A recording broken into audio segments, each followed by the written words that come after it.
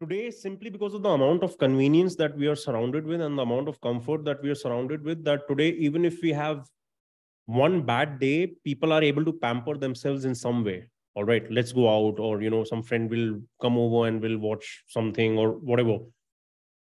But for me i personally feel that if you can invite adversity into your life or if you if you could use your imagination to play out the theme of fear as deeply as possible in all your possible imaginations. It is there that you will start coming face to face with how much of a con man or a con woman you are to yourself. It has to be fear because see fear will rattle you all right? So when it'll start rattling you or shaking you it'll shake you to such an extent that whatever is waste whatever is excess whatever is unnecessary it'll start dropping off your being. Okay? But i personally don't think there is uh in again i'm making this clear. This is for today's times that i'm talking. In today's times in order to be more naked with ourselves we need to go through shit or we need to in our at least heads go through as much shit as possible. That's why you'll see these psychedelics and things like ayahuasca and all you know becoming popular because unfortunately people are not able to do it by themselves. Mm. you know so you have to book a $6000 retreat in some fucking camp somewhere and go and do ayahuasca. Whereas like again what, what is ayahuasca if not just your brain again only doing the actual work? It's not the ayahuasca. That is just one catalyst. But you could have a catalyst such as a really horrible life experience. You could have a catalyst such as something which you voluntarily invite into your life. Like for example if today i am a person who's you know decently comfortable and well to do i don't have a problem of in hindi in india we say roti kapda makan. Roti is bread kapda is clothing makan is the house. All right. So let's say i have you know the basic necessities of today's life. And uh, i am even let's say a little bit wealthier than that. So for someone like me to actually get naked with myself i literally should even if it is for a temporary you know period of time let's say one month. Let's say i travel to a country like cambodia but i don't take my bank account with me. You know? So whatever i have grown up being exposed to i will be exposed to the same phenomena but with a very very very very different platform where a lot has been taken away from me. And a lot which has been taken away from me normally we are so used to it that we don't know how to exist without it. And maybe i'm using a shitty example when it comes to just you know the bank and the this and the that. But even in terms of let's say my ability to walk if suddenly tomorrow i just take crutches even if i can walk but i act one week that i'm handicapped and i can't walk that will humble me in a lot of ways. Hmm. Because i have to figure out solutions with decreased ability. And as soon as i have to come face to face with okay my ability is lesser boom now you're starting to encounter your own fear that's when the rattling will happen in some way in the start because in the start you're so used to having certain ability. So in today's times it is incredibly tough to get naked because simply the the yuga we live in the the eon of time we live in it is to do with virtuosity like not uh, virtuosity sorry things which are virtual and fakeness as much fakeness that we can propagate. That's the culture. That's the personal humanity as well. So even most people who would be listening to this would be just listeners not doers. And this is no disrespect to you know your audience or even my audience. This is just the truth about society that if there are you mentioned david goggins. Let's say he has 1 million subscribers. How many of those subscribers are actually doing what he talks about? It's not 1 million. It's very few of them for a lot of people going through content is basically intellectual masturbation hmm. i that's very interesting you're right it is we do live in a very comfortable society and it sounds like you've been through a lot in your life I've also been through a lot in my life, and I'm at a point now where I feel like, in a way, it was a blessing because I wouldn't be who I am today without it, right? So I've come out the other end. If someone told me that when I was going through it, I would have shot them.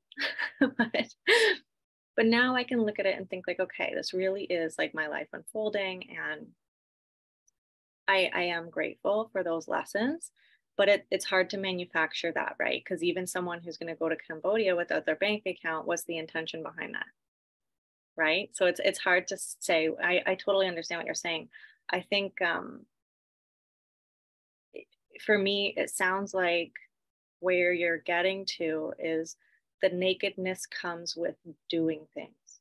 And if you if you sit around just in a you know not doing anything and just consuming stuff you're never going to have a chance to get naked right? Like if you're if you're always putting forth an aesthetic and if you're always putting forth a persona but you're never showing up authentically and you're never authentically trying to do what you want in life you're never going to get a humbling right? You're always staying safe so i think yeah. that's definitely been true for me with starting my own business like i've been humbled i don't even know how many times and i i now i welcome it because i'm like great this is growth like I don't I don't want to be a one-dimensional person. I don't want to show up and think I'm perfect. Like we I'm we aren't one-dimensional. You know, that's the thing. We love to like put ourselves. But I mean, online, sometimes you can show yeah, yeah, yourself as being like, people are like, I'm starting a business. What's my persona going to be? And it's like, maybe it could just be you. Yeah. but the truth is that even we don't. So, you know, like how I'll put this across is that if today like technically let's say you know you and me are living in a sim- same housing complex all right and let's say there are 100 families over here each has let's say four members i'm in india so yeah four members in the west maybe two members or whatever the single parenthood is a little bit higher over there um, and let's say all of us together go to a psychiatrist. All right? Just for the fuck of it. Nobody's ex- no, no nobody's you know uh, demonstrating any symptoms or whatever. But if you explore any human being and based on the kind of tests and yeah. you know practices Everyone will which, get a diagnosis. Exactly. We are all psychopaths. Yeah. yeah. But we are afraid of our own psychopathy simply because we have spent so much time living apart from it.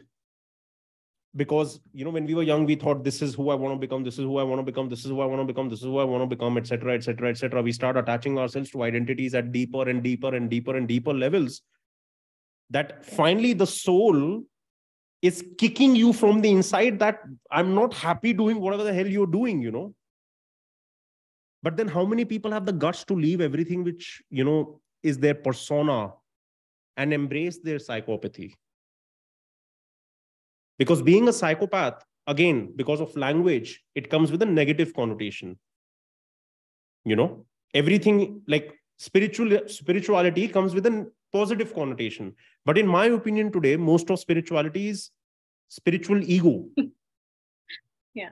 So for me i'm interested not you know in playing the game of duality in terms of when i want to understand things because i love truth even if it breaks me down. But I would rather die happily knowing that I have experienced a certain amount of truth rather than die being a goddamn king on this planet, but being totally ignorant of what actually matters at the level of the cosmos, not just my personal life. All right. So, um, just as I said, in terms of connotations, language is such a barrier that for example, somebody being a psychopath, that doesn't mean that that's negative. It could be psychopathic in their own, like, it depends on how their consciousness is now going to regulate that psychopathy, you know, because there is somebody who cannot pay attention. And the doctors will say, you know, you have that ADHD, whatever, blah, blah, blah, blah. And children are on drugs, especially in your countries, at another level. All right. But if I could figure out how to be a 100% at the same time in multiple different places where my attention is going automatically i'm using more of my brain than most humans actually use their brain to the extent. You know? And the same way it could be something else that i'm somebody who's so one track. But then being that one track is really great if i want to do an invention such as creating the light bulb because until i don't solve that problem i cannot stop so if i have psychopathy of a kind where if i go into something i can't stop like what they call ocd all right? You're obsessive you're compulsive you're just like i had a client once who just can't stop washing his hands if he starts washing his hands. He's in canada by the way. All right? He can't my first client was in canada by the way but that was from hmm. alberta. All right? So he couldn't stop washing his hands. Some when he would start washing the utensils he cannot stop you know doing the dishes but just imagine if he doesn't hold himself at a place of fault automatically that's the first step from him getting out the of, of the trap of his own psychopathy. Because he will understand when to actually apply it when not to apply it. Most of us don't know when to actually apply our strengths or weaknesses because our, our weaknesses are strengths in other dimensions. And our strengths are weaknesses in other dimensions. You know? Mhm.